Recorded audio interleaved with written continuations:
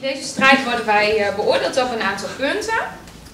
Uh, netheid, uh, commerciële uitstraling, uh, beschikbaarheid, klantvriendelijkheid.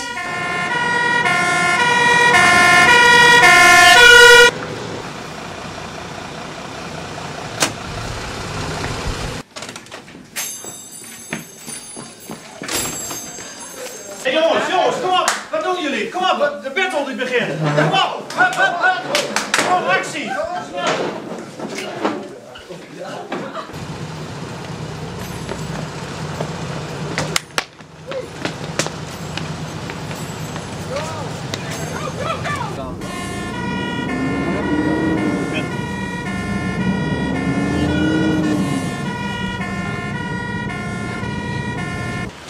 Ja, is hier, is iedereen er?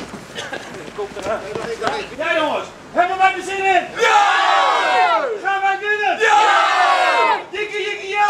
Pega a libertação!